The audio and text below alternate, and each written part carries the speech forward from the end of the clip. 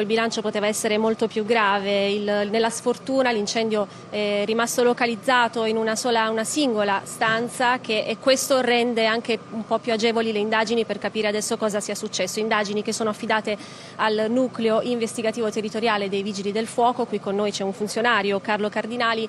Ecco, allora, queste indagini adesso su cosa si concentrano? Beh, nel dramma si concentreranno in una sola stanza e questo è anche d'aiuto. Abbiamo capito che tutto è accaduto da, da, questa stanza e da questa stanza purtroppo per quanto due persone siano decedute eh, ci saranno sicuramente gli elementi che ci permetteranno di capire che cosa ha generato l'incendio e soprattutto cosa ha generato questa quantità di fumo da incendio molto rilevante che ha causato altri quattro decessi oltre a una serie di, di diciamo, di eh, persone che, che, hanno dovuto essere ricoverate perché persone anziane, quindi l'inalazione dei fumi sicuramente ha generato questa necessità.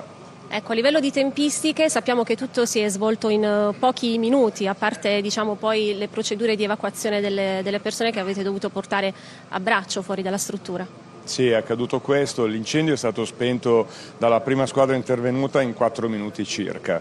E, mh, la ricerca diciamo, delle persone presenti eh, qualche minuto in più, ma il grande lavoro è stato quello di portare le persone allettate tutte a braccia fuori per garantire la loro sicurezza, del piano interessato dall'incendio come dei piani superiori.